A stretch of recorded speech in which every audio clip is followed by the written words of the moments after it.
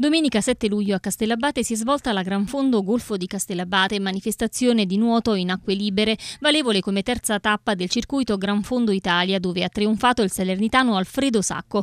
Scenario splendido quello dell'area marina protetta di Santa Maria di Castellabate, che ha ospitato l'evento di 15 km promosso dal circuito NAL con l'associazione Punta Tresino, in collaborazione con l'associazione Sintesi SSD e con il supporto del Circolo Canottieri Agropoli e dello sponsor ufficiale EGE.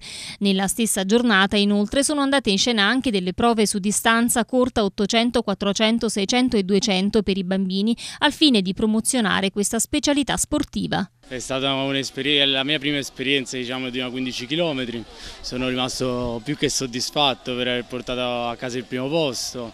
È stata una gara impegnativa comunque non solo fisicamente ma anche mentalmente, comunque 15 km non sono pochi appunto essendo la prima volta ho dovuto imparare anche a gestire le forze. E, mh, veramente è stata una bella organizzazione, il posto magnifico, cioè in un'acqua incredibile e le condizioni sono state ottimali tranne, fatto, mh, tranne a San Marco che abbiamo trovato appunto corrente contraria e all'altezza di Santa Maria ma fortunatamente grazie anche a un buon canoista che si chiama Giuseppe e siamo riusciti a superarlo, che me ha dato una grande mano.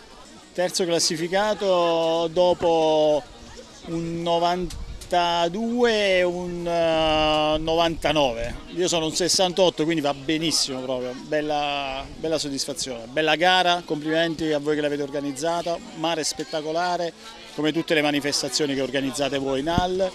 Che dire, perfetto, ospitalità eccezionale, ieri ci avete ospitato a cena, oggi anche a pranzo, quindi gara bellissima. Tutti gli amici eh, che nuotano in acque libere, il circuito NAL è un'altra cosa. Il tratto più bello della nuotata dall'inizio alla fine, un mare veramente come dicevo prima bellissimo.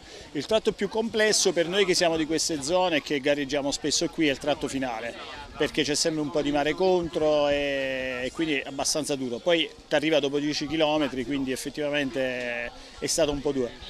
Però la gioia di nuotare a Castellabate è, è, è così forte che anche l'ultimo tratto ci è sembrato fattibile e bellissimo.